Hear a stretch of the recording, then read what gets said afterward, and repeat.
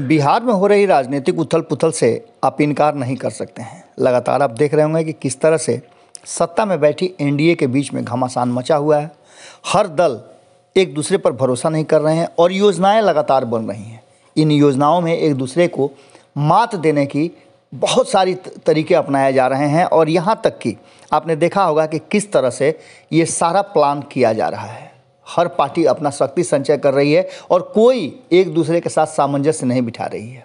खास करके अगर दो बड़ी पार्टियों की बात करें एनडीए की, जो बिहार की सत्ता में हैं, भारतीय जनता पार्टी और जनता दल यूनाइटेड, दोनों के ही अगर कहा जाए तो शीर्ष नेतृत्व के बीच में जो कुछ भी हो रहा है, वो बिहार कैडर के लोगों को या बिहार में जो नेता हैं, उन लोगों को स्वीकार नहीं हो रहा है। कहीं ना कहीं ये ऐसा उलझा हुआ तार है, जिसको सुलझाने में दोनों ही दल पूरी तरह से छत विछत हो रहे हैं। कहीं ना कहीं इसका डैमेज भी हो रहा है और इसको भरपाई बड़ा मुश्किल होगी। वहीं दूसरी तरफ़ दो छोटी पार्टियाँ जिसको, जिसे कंधे पर बिहार की सरकार चल रही है, वो असंतुष्ट हैं। उनके असंतुष्ट होने का जो सबसे बड़ा कारण है, वो ये है कि कहीं ना कहीं ये पूरी तरह से इस बात को लेकर के जो चीज़ें चल रही हैं, उस पर काफ़ी संकोच और संयम से अपना काम कर रहे हैं। इन सारी बातों को लेकर के जिस तरह की बातें सामने आ रही हैं, वो स्पष्ट निर्देश दे रही हैं कि बिहार में सब कुछ ठीक ठाक नहीं चल रहा है। एक तरफ़ जहाँ बिहार में ये सारी चीज़ें हो रही हैं, वहीं दूसरी तरफ़ आपको बता दें कि बिहार में जिस तरह की बातें सामने आ रही हैं, उसको लेकर के जीतन राम मांझी और मुकेश सहनी के बीच में हुई बातचीत आपको सब कुछ कह देगी। हालाँकि बाहर निकल करके मुकेश सहनी ने जो बातें कही, वो साफ़ स्पष्ट इशारा कर रही थी कि मुकेश सहनी और जीतन राम मांझी जो एनडीए गठबंधन है, उससे संतुष्ट नहीं है और कभी भी कोई भी बड़ा फैसला ले सकते हैं। उन्होंने एक फैसला तो तुरंत बता दिया कि वो बिहार छोड़िए ना, उत्तर प्रदेश में किसी के साथ कोई गठबंधन नहीं करेंगे और अपने एक सौ सड़सठ सीटों पर चुनाव लड़ेंगे। इन सारी बातों को लेकर के अब और खुल करके बिहार की राजनीति सामने आ गई है।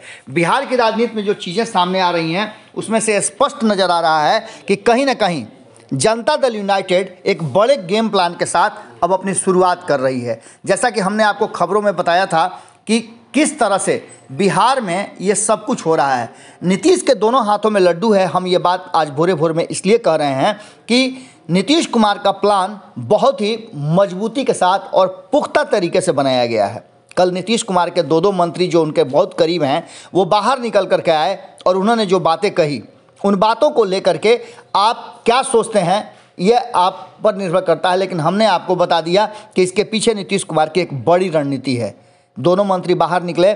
जल संसाधन सह सूचना एवं जनसंपर्क मंत्री संजय कुमार झा और जदयू ये दिल्ली के जो प्रभारी भी हैं, इसके साथ ही आपको बता दें कि बीजेपी के साथ गठबंधन की बात को लेकर के और आगे उत्तर प्रदेश में गठबंधन को लेकर के बहुत सारी बातें हुई। जब पत्रकारों ने उनसे सवाल पूछा तो उन्होंने बहुत ऐसी बातें कह दी, जिन बातों को लेकर के अब कहीं ना कहीं चर्चाएँ तो शुरू हो गई हैं। एक तरफ़ जहाँ भारतीय जनता पार्टी और जदयू के बीच में बिहार में कोई सामंजस्य नज़र नहीं आ रहा है। दोनों एक दूसरे पर आरोप प्रत्यारोप का सिलसिला जारी रखे हुए हैं। वहीं आपने देखा होगा कि किस तरह से वक्त वक्त पर और हर छोटी बड़ी बात पर एक दूसरे के सामने भिड़ जा रहे हैं। इन सब के बावजूद जब दोनों मीडिया से रूबरू हुए तो उन्होंने स्पष्ट तरीके से जदयू कार्यालय में जन सुनवाई के बाद मीडिया से मुखातिब होते हुए कहा कि जिस तरह से हम तैयारी कर रहे हैं और जिस तरह से हमारे राष्ट्रीय अध्यक्ष आगे बढ़ कर के अन्य राज्यों में जहाँ चुनाव होने हैं वहाँ जा रहे हैं उससे स्पष्ट है कि हम आ, आगे होने वाले जो चुनाव हैं पाँच राज्यों में उसमें पूरी मजबूती के साथ चुनाव लड़ेंगे। उन्होंने स्पष्ट तरीके से कहा कि इतना ही नहीं, हम दिल्ली नगर निगम का चुनाव भी लड़ेंगे और इसके साथ ही उत्तर प्रदेश में भी चुनाव लड़ने जा रहे हैं। उत्तर प्रदेश के चुनाव में उन्होंने स्पष्ट तरीके से कहा कि हम एनडीए के तहत भी चुनाव लड़ सकते हैं। जो सीट शेयरिंग का समझौता है, उस पर हमारे राष्ट्रीय अध्यक्ष ने बातचीत कर ली है। आपको बता दें, इसके ठीक पहले जदयू के राष्ट्रीय अध्यक्ष ललन सिंह ने जो बातें कही, उससे भी स्पष्ट हो रहा है कि कहीं ना कहीं जदयू और भाजपा के बीच में जो सीट शेयरिंग का समझौता था, उस पर बात बनती नज़र आ रही है। जहाँ एक तरफ़ ये कहा जा रहा था कि जदयू और भाजपा बिहार में असहज हैं, वहीं जदयू और भाजपा अगर उत्तर प्रदेश में चुनाव लड़ने जाती हैं तो इसमें आपको सीधा नज़र आएगा कि भाजपा की मजबूरियाँ कितनी बड़ी हैं। आपको बता दें कि जदयू के राष्ट्रीय अध्यक्ष राजीव रंजन सिंह उर्फ़ ललन सिंह ने कहा है कि भाजपा जदयू का साथ मिलकर उत्तर प्रदेश विधानसभा चुनाव लड़ने का तैयारी हो रहा है। उन्होंने कहा है कि हमारे वरीय नेता, केंद्रीय मंत्री आर सी पी सिंह हमें यह जानकारी दी है और उन्होंने कहा है कि हमने सीट का जो समझौता है उसकी जानकारी दे दी है। उन्होंने साफ़ तौर पे कहा कि भाजपा के प्रदेश अध्यक्ष को अपनी सीटों की सूची हमने सौंप दी है। यूपी चुनाव में भाजपा से बात करने के लिए आर सी सिंह अधिकृत किए गए हैं। वे सीटों पर समझौता को आगे बढ़ाएँगे और बातचीत करेंगे। ललन सिंह ने स्पष्ट तरीके से इनकार किया कि जदयू उत्तर प्रदेश में कितनी सीटों पर दावा रखती है। ये फैसला तब होगा जब सीट शेयरिंग का समझौता हम कर लेंगे। हमारे बीच में आपसी बातचीत हो जाएगी। इसका सीधा मतलब है कि कहीं ना कहीं नीतीश कुमार डबल गेम खेल रहे हैं और उनके दोनों हाथों में लड्डू है। यदि वो उत्तर प्रदेश में चुनाव लड़ते हैं तो इससे ये स्पष्ट हो जाएगा कि जो प्लानिंग बन रही थी 2024 के लिए, उसकी पूरी तैयारी पर नीतीश कुमार हर तरह का समझौता करने के लिए और अपने आप को राजनीतिक रूप से पूरी तरह से परिपक्व राजनीतिज्ञ के रूप में सामने रख रहे हैं। उत्तर प्रदेश चुनाव में जब चुनाव लड़ेंगे तो निश्चित रूप से आप समझ सकते हैं कि जीतन राम मांझी और मुकेश सहनी चुप नहीं बैठने वाले हैं। क्योंकि इन दोनों का भी कहना था कि हम एनडीए के तहत ही उत्तर प्रदेश में भी चुनाव लड़ें और भारतीय जनता पार्टी हमें भी, हमारे साथ भी सीट शेयरिंग का समझौता करे। लेकिन ऐसा संभव नहीं लगता है। भारतीय जनता पार्टी को ये बात समझ में आ गई है कि इन दोनों को वहाँ रखना उचित नहीं होगा। जिस तरह से बिहार में सरकार पेंडुलम की तरह डोल रही है, उसी तरह से उत्तर प्रदेश में होगा। और उत्तर प्रदेश में नीतीश कुमार के वोट बैंक बारह तेरह प्रतिशत होना भारतीय जनता पार्टी के लिए फ़ायदेमंद होगा। यही कारण है कि भारतीय जनता पार्टी ने कहीं ना कहीं नीतीश कुमार को साथ रखने का और कम से कम सीटें दे करके समझौता करने का जो मनसा बनाया है, उसमें नीतीश कुमार का फ़ायदा ये है कि अगर नीतीश कुमार वहाँ कुछ भी सीटें जीत जाते हैं तो आने वाले 2024 के चुनाव में यदि प्रधानमंत्री के उम्मीदवारी के लिए साझा विपक्ष नीतीश कुमार का नाम देता है तो उनके पास उत्तर प्रदेश में भी अपना आधार होगा और वो उनको फ़ायदा देगा। इसके साथ ही राष्ट्रीय दल का जो टैग है, वो भी नीतीश कुमार को मिलने की संभावनाएँ बढ़ जाएँगी। इन सारी बातों को लेकर के लगातार जिस तरह से नीतीश कुमार तैयारी कर रहे हैं, भारतीय जनता पार्टी भले ही ये बात समझ रही हो कि नीतीश कुमार और भारतीय जनता पार्टी, लेकिन भारतीय जनता पार्टी का भी जो थिंक टैंक है, वो सारी बातों पर गौर ज़रूर कर रहा होगा, विचार ज़रूर कर रहा होगा।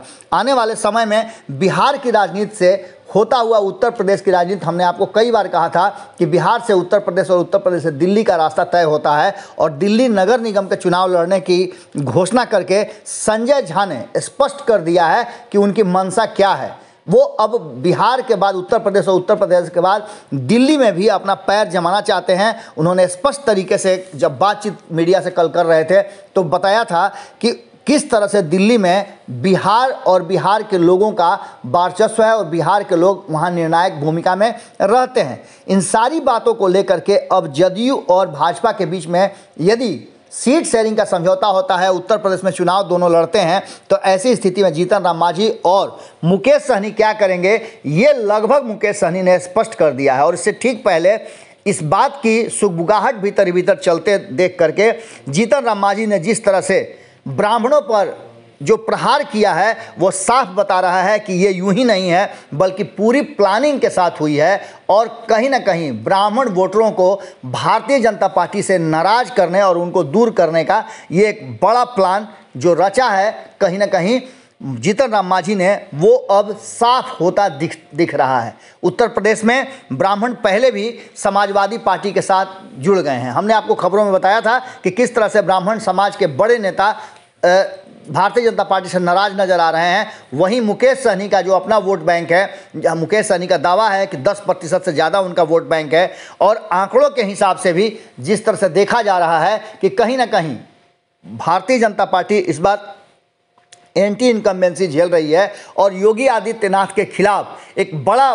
माहौल बनाने की कोशिश की जा रही है। उस कोशिश में कितना कामयाब होते हैं विपक्ष के लोग, ये बड़ी बात होगी। वहीं आपको बता दें कि नीतीश कुमार भारतीय जनता पार्टी के साथ यदि रह करके भी उत्तर प्रदेश का चुनाव लड़ते हैं तो इसमें फ़ायदा भारतीय जनता पार्टी का कम नीतीश कुमार का ज़्यादा नज़र आ रहा है और इन सारी बातों को लेकर के एक बात तो स्पष्ट नज़र आ रही है कि कहीं ना कहीं जो बातें सामने आ रही हैं, वो बता रही हैं कि बिहार में होने वाले जो घटना है, उसका असर उत्तर प्रदेश में होगा और यही कारण है कि भारतीय जनता पार्टी मजबूरी में नीतीश कुमार को साथ लेने के लिए तैयार हुई है। जबकि ये स्पष्ट नज़र आ रहा है कि इससे ज़्यादा फ़ायदा नीतीश कुमार का है और नीतीश कुमार को आने वाले 2024 और 25 के चुनाव में उत्तर प्रदेश में अगर कुछ भी सीटें मिल जाती हैं तो फ़ायदा उसका नीतीश कुमार को होगा। यानी कि नीतीश कुमार के दोनों हाथों में लड्डू है। भोरे भोर में हम आपसे यही विदा लेते हैं। कल फिर मुलाकात करेंगे। बहुत बहुत धन्यवाद। नमस्कार। अगर ये वीडियो पसंद आई और वह बिहार के राजनीति और बिहारियत से सरोकार रखेनी तो सब्सक्राइब बटन दबा के चैनल के सब्सक्राइब कर ली। ओजे एगो घंटी बा। ओकरा बटन दबा देला से कुल सटीक और मारक खबर रुआ मुफ़्त में मिल जाई। अगर रुआ पत्रकारिता के हमनी के नया प्रयोग में सहयोग कर चाहतनी तो ज्वाइन बटन दबा दी। पेटीएम नंबर नोट कर ली nine three eight six eight one six seven double